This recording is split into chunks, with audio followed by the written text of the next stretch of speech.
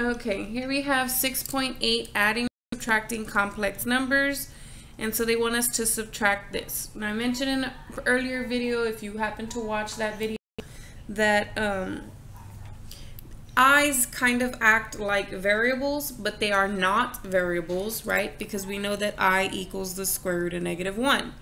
But we also know that i squared equals just a negative 1. So essentially what we're going to do here is combine like terms and then see what we have left over. So I don't have anything to distribute here, so I just have negative 4 plus 2i. Here, if I distribute this negative, I end up with positive 1 and minus 3i. And so what you can do is you can combine your real parts together and your imaginary parts together.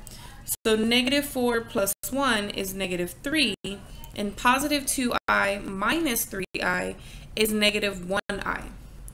And you cannot combine a real number and imaginary number together, like add or subtract. You can multiply them, but you can't add or subtract them. So that stays the response there. Same thing down here for the other one where they want to add. There's nothing to distribute there, so we get 4 minus 6i. And if you distribute a positive 1 here, it stays positive 1 and it stays negative 2i. And then if I combine my like terms, 4 plus 3 is 7, negative 6i and negative 2i make negative 8i. Right? You're just adding and subtracting, so you're just combining the like terms.